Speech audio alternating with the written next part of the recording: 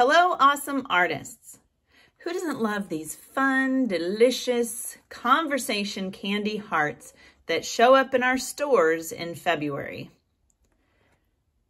But I think that our conversations might be a little bit different this year. Let's create these fun COVID conversation candy hearts using form and value. For our art project today, you're going to need two pieces of the white paper from the pack, a pencil, some scissors, and then something to color with. I'm going to be using colored pencil, but I'm also going to be using some oil pastels. You can use whatever you have available. Start off by taking one of your papers and folding it in half hamburger. We're going to make a template for our hearts so that all our hearts can be the same size and same shape.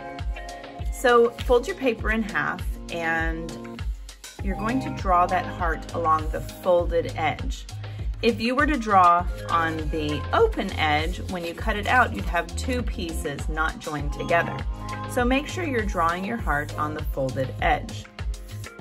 A heart has a, it starts out as a diagonal rounded line and then a diagonal coming back to the folded edge. You wanna make your heart at least the size of your fist, if not a little bit larger. If you don't like your original shape, go back over and make it a little bit rounder. Once you are happy with your shape, go ahead and cut it out. Cut along the line you want to use. And if you cut off the line, that's fine. This is a template. It's going to help us create consistent shapes along our page. All right, I've got my heart shape there.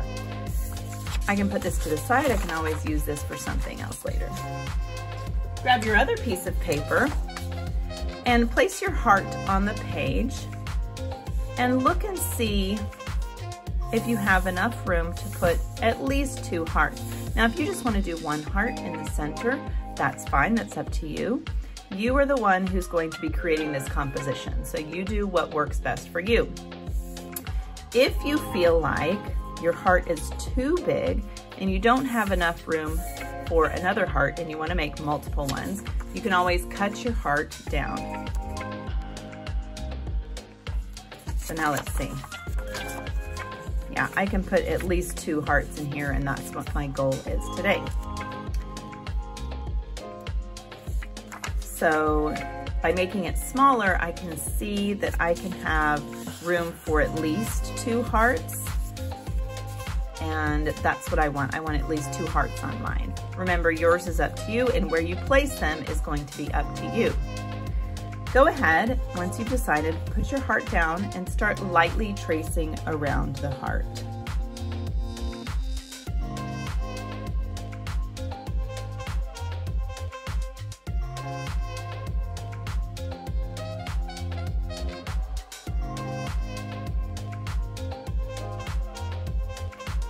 So now we have flat heart shapes on our paper where we want our hearts. But the focus here is to make them more three-dimensional. You can see this candy heart is not flat. It has some edges that give it form. So we're going to create the illusion of form by adding some lines to our shapes. Start by finding the very top of the rounded edge of the heart. Just make a small line there, finding the top.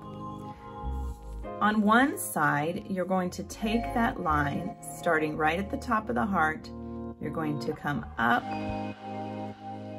out, away from the heart, and then you're going to follow that line there, make a copycat line. It wouldn't exactly be parallel because it's not straight exactly, but it's a copycat line. All right. Now you're gonna do the same thing on the other side, but this time you're gonna come around and you're gonna keep going, copying that line until you get towards the bottom there. Watch how I do this. Start at that top, come out, and I may have put this heart a little too close there. I can always move this heart over. So I'm gonna come around and I want it to be the same width as this one here. So let's check the width. And then just, once you've got that same width, make a copycat line. So I'm following that line. And then this, the tip of the heart, this is gonna go back in space at the same width and then connect. There we go. Now, these hearts are a little bit more rounded, so I'm gonna make mine sharp, but if you make yours rounded, you could do that. It's more formed that way, that's fine. All right, now because I overlapped, I'm actually going to move this heart over. Now you're gonna do that, give that form to all of your hearts. So let's do this one because it's pretty easy here. Go to the top, the rounded edge, come over, make a copycat line, and stop. Same thing with this edge, come around. This one will be easy because it's just going to go off the page.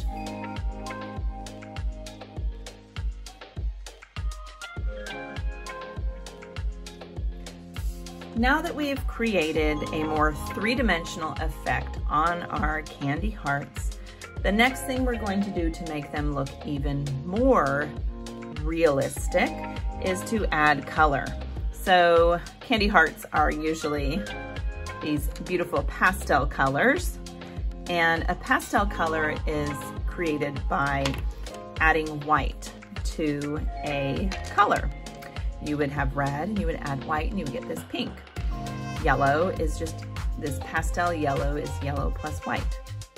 So we don't have any pastel colors on us, but we do have the ability to create value.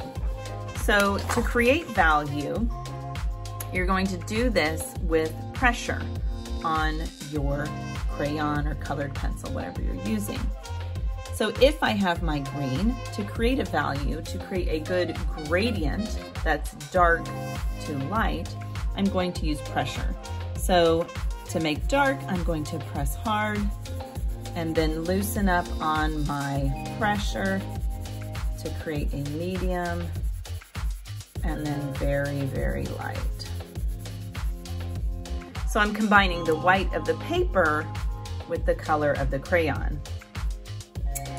All right, so you're going to be coloring your hearts using that value.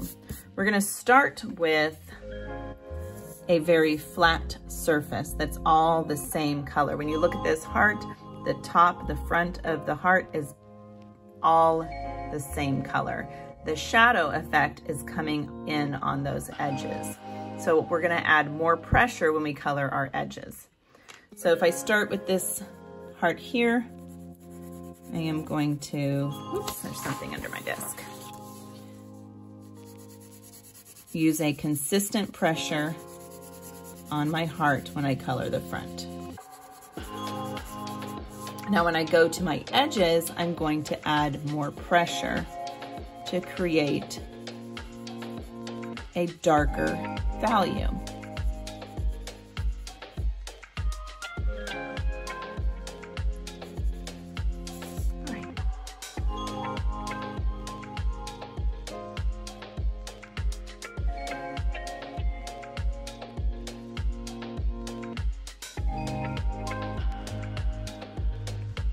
Now you can see my heart has a much more three-dimensional shape by adding more value to the edges. Now I'm going to take my white oil pastel, make sure it's clean. It's a little dirty on that side there. If it is dirty, you can just um, get another piece of paper and then draw by coloring and getting that those smudges off. Don't do it on your artwork, obviously.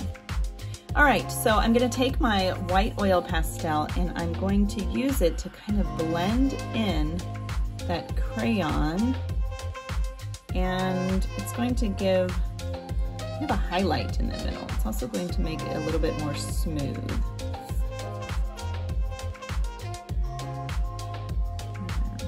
And you can do this to the to the heart as well. So I'm actually gonna use mine on the side kind of go in circles to give it a more smooth texture.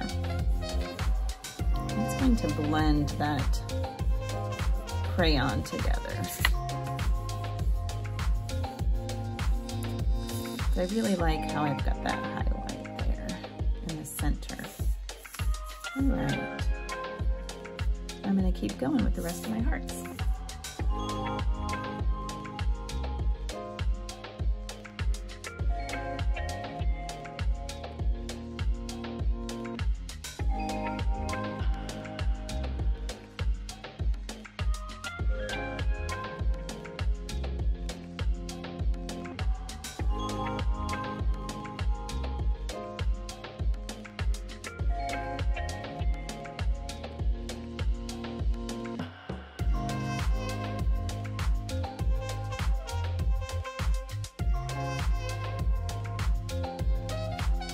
Once you've gone through and colored all of your conversation candy hearts and given them some nice value along the edges of the three-dimensional shape, you need to think about your background.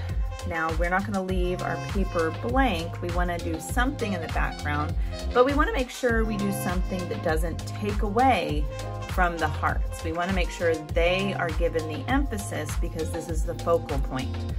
So I think I'm gonna use watercolor. You can use whatever you want, but I wanna give a slightly different texture than my candy hearts have.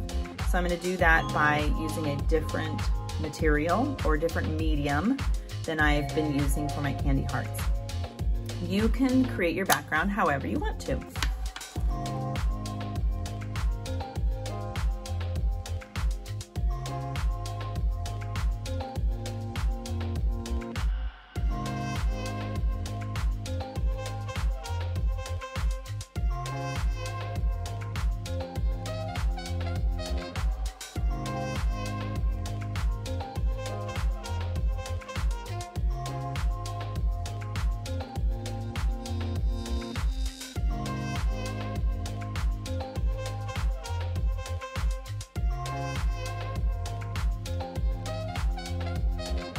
Now it's time to go ahead and add the words on our candy hearts. The words are always printed in red, so you're going to need a red colored pencil or a red crayon for this if you have one. And remember, our conversations are going to be a little bit different this year. Uh, I love the hug me one, but we can't really hug each other this year. So we're going to have some fun with some COVID conversations on our hearts. So think of some fun and positive words that have come to the forefront over the past year and put those right on the center of your hearts.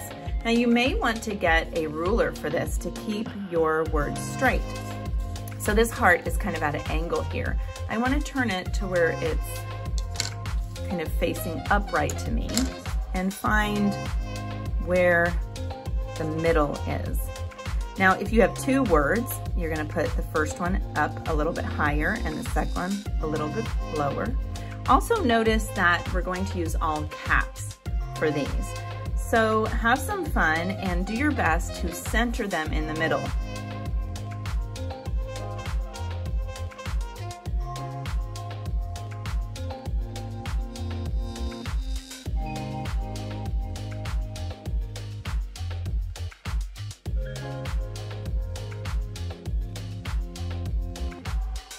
I decided to go ahead and leave the bottom and top heart without any words to really give focus on these two right here. And, you know, it's up to you what you want to do. If you want to add half words there or um, maybe all of your hearts fit on the page. That's really just up to you because you are the artist. I cannot wait to see your COVID conversation candy hearts.